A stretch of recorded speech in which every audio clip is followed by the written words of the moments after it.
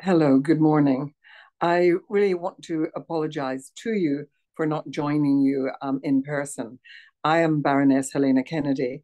I'm an international lawyer. I'm the director of the International Bar Association's Human Rights Institute. I've been a practitioner at the English Bar um, for many decades. I'm a King's Counsel, and I'm also a member of the British Parliament in that I'm a member of the House of Lords. And I had wanted to be with you because this is a subject matter very close to my own heart. I remember only too well uh, when this terrible atrocity um, became a public uh, uh, became public knowledge, and it was shocking. We had all been horrified um, when, first of all, there was a revolution in 1979 in Iran, and we somehow had imagined there might be democracy, an end to uh, the torture and uh, and issues that had blighted uh, the uh, um, the Shah's period in office. We had imagined that democracy would come and that would be there would be freedom and liberty for the people of Iran, that they would enjoy a very different kind of uh, of existence.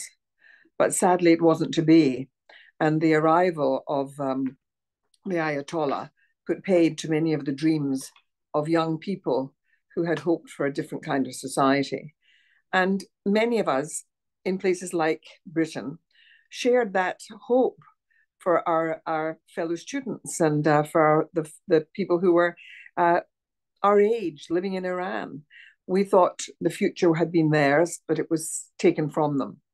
And, uh, and what followed was really shocking because, uh, first of all, um, there was a great deal of oppression of those who had wanted democracy. Many of the young people who perhaps were on the left or in different uh, organizations wanting change uh, suffered the consequences of this uh, new regime. Uh, many people um, uh, ended up in prison.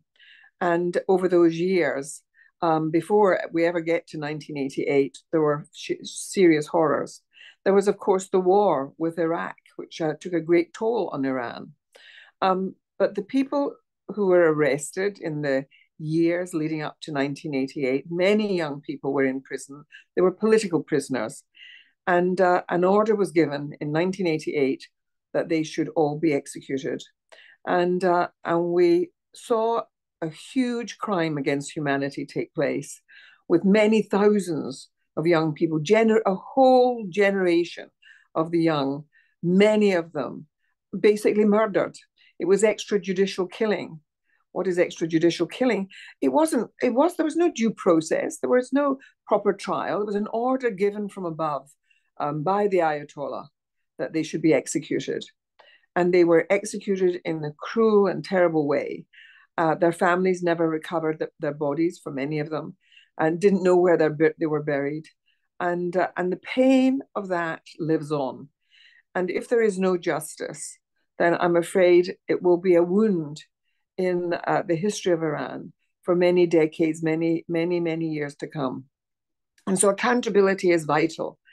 Accountability in for crimes is one of the things that people yearn for um, in order to basically move on in life and in nationhood.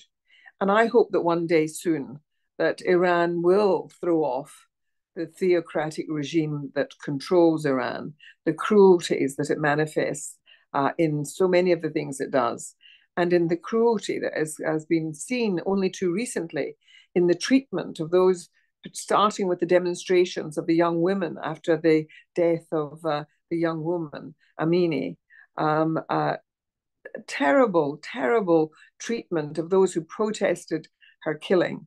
And that she was killed and then uh, the terrible, terrible uh, response of the state to the indignation of young women who say, We want freedom, we want to live our lives, we're not going to be controlled in the way that you're expecting us to be controlled. And the young men who took to the streets with them and their family mem- members who supported them. And so you're going to ask me as a lawyer, what can be done? How do we get accountability?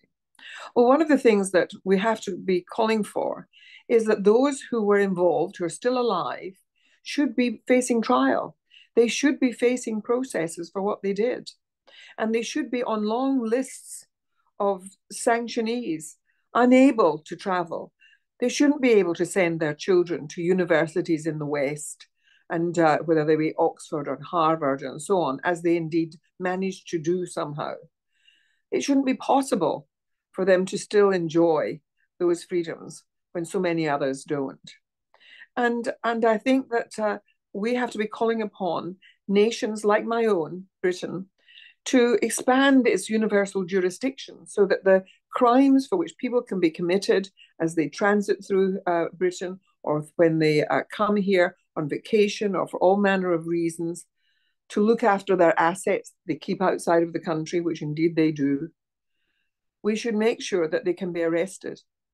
And people who have been involved in these terrible crimes and in the 1988 massacre should be brought to justice even if it will not happen in their own jurisdiction, it has to be promised that it will happen if they come anywhere near nations which respect universal jurisdiction and have created domestic law to be able to deal with those who are criminals uh, who have committed terrible crimes in other countries, especially in this instance, we're talking about in your countries, in Iran.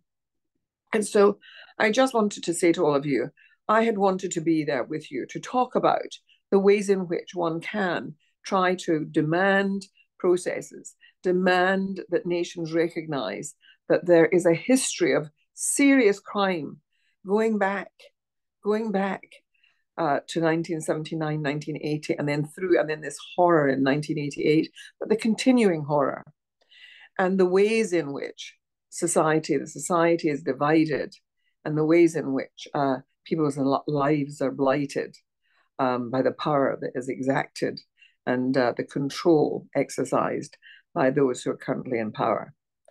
But we have to give the warning it will not be forever. And there will be a reckoning. There will be a reckoning.